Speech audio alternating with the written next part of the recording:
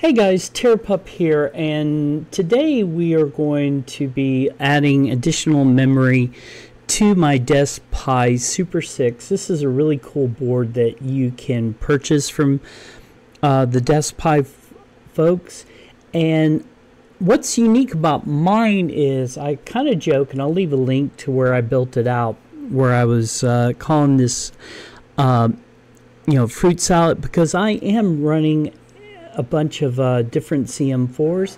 But what we're going to be doing today is we're going to be taking the two one terabyte um, NVMe drives that I had removed from the CCWK uh, that uh, is running TrueNAS that is going to be part of my DeskPi uh, RackMate T1 rebuild, and we're going to add it to this and we're hopefully going to be able to uh, build it out so that we can um, take three of the uh, one terabytes and put um, Ceph onto this board. So let's go ahead and take a deep dive at how I have my CM4s on this particular ITX board.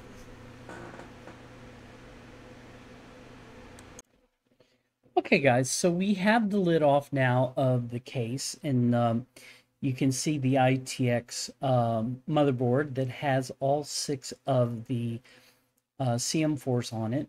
And we're going to take a deeper dive. Now, next to each CM4 is a number that correlates to the slot. And this is important because on the bottom of the board, if you're using your SD cards or your memory, that is uh, the pi that is going to line up.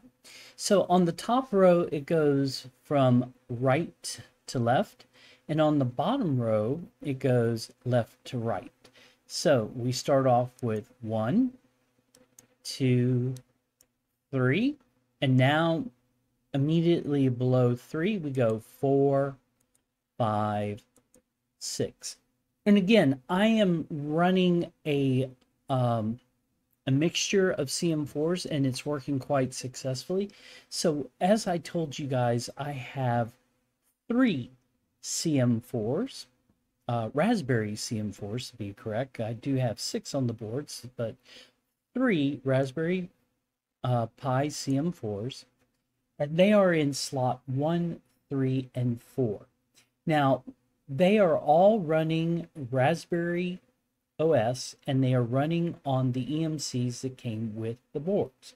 Now, number one is actually running Casa OS. That is an application that allows me to run Docker containers. Three and four, I am planning to get Kubernetes up and running on those. So um, we will uh, go down that path and try to get it working. Now, I have two Banana Pis. They are on five and six, and they are going to be part of the Kubernetes cluster. So I should have four CM4s running uh, in total. Now, I want to point out something real quick. You'll notice the mixture of fans, okay, and heat sinks. Uh, I could have hooked up the fans on the ones on top. I did, but I've unplugged them because um, I just wanted to be safe. Okay.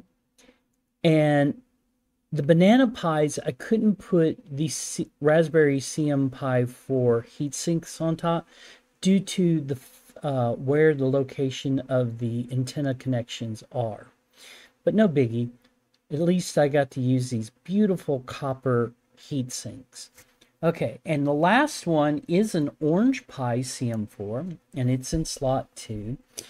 And it is running um, Orange Pi OS with uh, Xfce 4. And I actually have um, XRDP running on this with libvirt D because this one has enough memory on it. I'm actually running um, RHEL 9 ARM, and I'm using that as a DNS server. Okay, and it's running on libvirtd. It works very beautiful, and I XRDP into it. So that is my um, my CM4s on the board. The only other thing I would like to point out on the Banana Pi CM4s, I'm running Armbian uh, Debian, and uh, they are running beautifully on there. Okay. All right. Let's continue on working on the Super 6.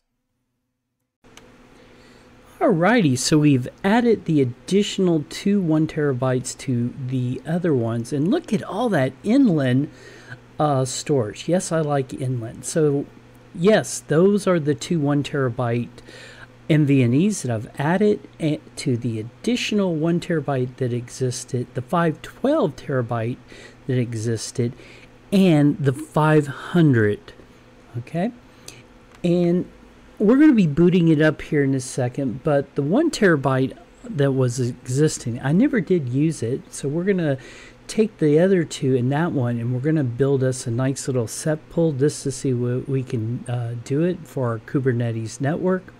The 500 terabyte is where Casa OS is running and the 512 uh, terabyte is being used by Orange Pi where my libvirtd is. So now we're booting it up. Everything should be coming up. And you should be seeing all the colors there. It looks like it is successful. So, all right, we're done with this. And this is TerrorPUP wishing you guys peace until the next video.